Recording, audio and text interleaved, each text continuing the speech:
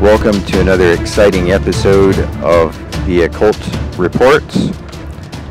This audio report is on the topic of the mind of the occultist and an introduction to the occult for new and prospective students and colleagues. Join us at Vrilock.com, sign up for our free newsletter, and use our contact page to start the conversation with us.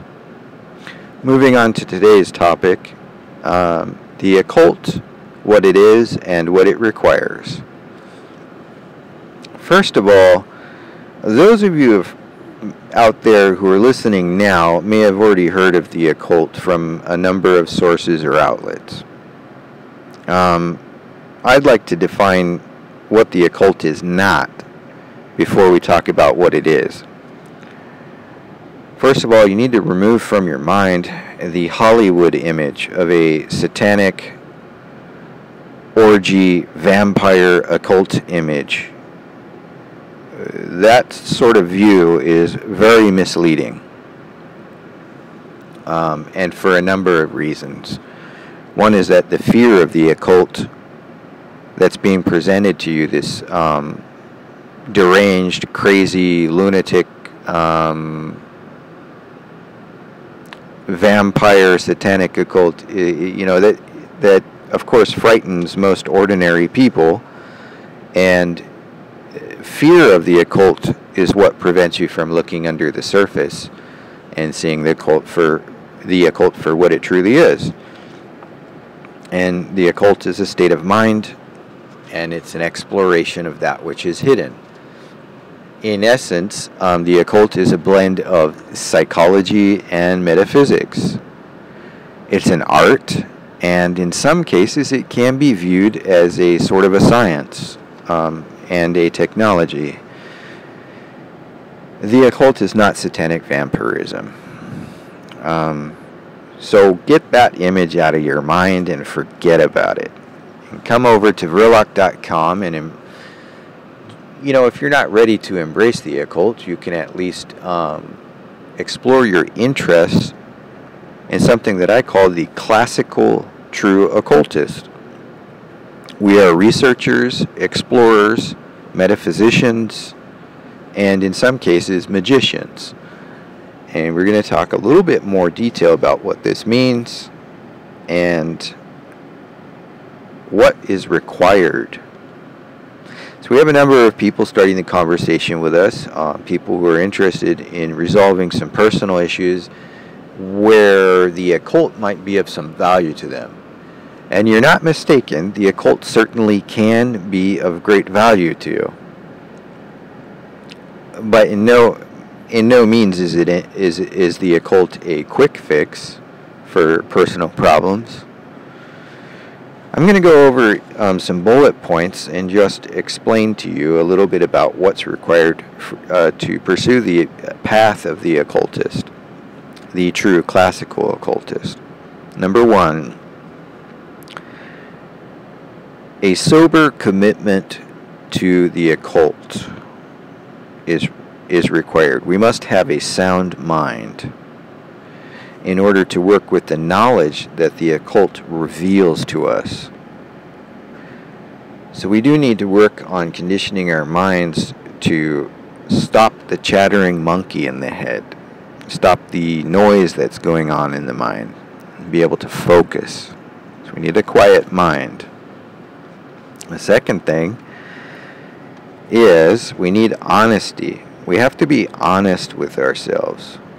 Um, personal problems should not be allowed to just sort of wade in the background while we're working in areas such as what might be called magic or psychic training, psychic ability, or paranormal uh, pursuits, spiritual work. This is because unresolved issues only surface sooner or later in the middle of our occult pursuit which can destabilize our work. I might expand on this more a little later. Let's move on to the third thing. As I was saying earlier, it's not a quick fix. The occult is a relationship of commitment to learning mastery of oneself, which later opens the mind to higher levels of consciousness, as well as various psychic and what can often be called magic or magical abilities. And this is true. Um, these higher levels of consciousness can open actually quite sooner than you might expect. Um, and this is because when we center in ourselves quietly and become aware of our true self, our true consciousness, that higher level cosmic mind will come knocking at the door to your mind um, to speak with you. Um, another area to look at is habits. Uh, we're likely to find that some habits must be resolved before putting external magical energies like uh, sigils or um, staves, even the runes, into our own energy field. I want to say that again. We are likely to find that some habits that we have must be adapted or resolved before putting these external magical formulas or energies or patterns, sigils, into our own energy field. Uh, for example, we may need to overcome habits such as uh, excessive drinking, excessive eating of the wrong types of foods, um, or overspending. Um, for, for instance, if you're trying to bring more money into your life by working with magical formulas, it's advisable to look at some of your habits, such as overspending, before you make the attempt to expand business or uh, bring in more money into your life via magical methods. And also keep in mind some a lot of these patterns actually uh, these sigils and magical staves that you'll find on uh, other websites out there. A lot of these are tied to either spirits or egregores, which are complex thought forms, which tend to have a mind of their own. Let's move on to thoughts. You need to understand your disposition with the world, your views, your personal views, and how this state of mind that you have came to be identifiable as you or yourself.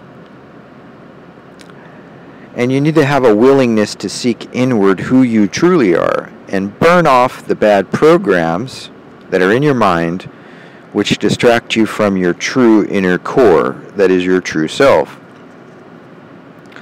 Cease to identify yourself with any particular social or political group. It doesn't mean that you cut ties with these groups. It just means that you seek inward to find your true self and don't identify yourself with a mass thought form. And this is the secret to breaking off from mind control so that you're not influenced by others and you can see clearly. See clearly, think clearly. You're preparing your mind to become a true occultist, remember? The collective hive mind is not for you, not for the occultist. At least not for the true classical occultist. It may be that the collective hive mind serves those who follow the Hollywood vampire uh, satanic occult lunacy type of uh, style or fashion, but the true classical occultist does not seek to be part of a hive mind. We seek the true self. We seek truth that is ordinarily hidden to us. And this is what the occult means. The occult means hidden. You seek independent knowledge, a knowledge which can only come to you from the cosmic intelligence system, which is contacted through the true self. The cosmic intelligence system is sort of a new term that I personally coined, but it isn't an entirely new concept. Great thinkers such as Robert B. Stone referred to this same cosmic intelligence system but under other names. He referred to it as the cosmic psychotronic generator. Other great thinkers, such as Philip K. Dick, referred to it as Ubik or the divine invasion, and so on. The occultists um, needs to really work on self identity from a true self standpoint.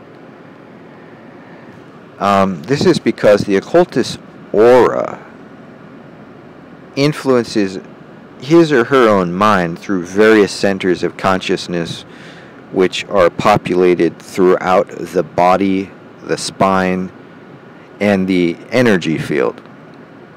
And as you progress in this study, by extension of the energy field to higher levels of consciousness throughout the universe.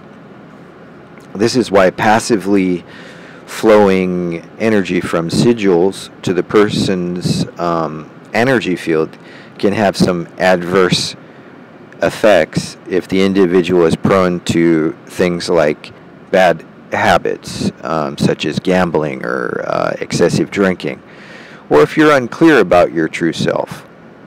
I'd like to leave you with the words of someone who may not necessarily be a mainstream authority on philosophy, but who has managed to stay within the public view as an independent author and uh, musician. The following words by Henry Rollins, and I quote Sculpt yourself from stone. So, for the occultist, this is the first thing to work on. We must master our own energies before introducing things like spirits and egregores and um, God forms into our subtle anatomy, or what is also called our energy system.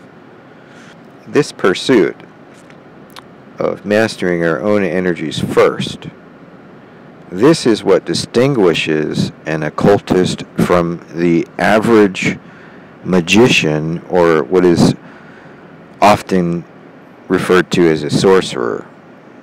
As occultists, we are different. And it is also much, our pursuit is much like what Frank Herbert wrote in his book Dune. Quote, He is an island of selfdom, end quote. And that's in reference to um, his story Dune with uh, Paul Muad'Dib, who is raised to God consciousness, or what is often called the Godhead. It is our goal to look inward, seek inward, and through this true self, make our connection with the greater cosmic mind and become technicians of the world circuit to have a better society. Because a better society can only be achieved by cracking open that which is hidden, but also being prepared to interact with that which is hidden. And this is the goal of the true occultist. I want to thank you for joining me for today's audio program. Uh, please go to Vrilock.com and subscribe to our newsletter. And we look forward to having a conversation with our new colleagues. This is Tom Vrilok signing out.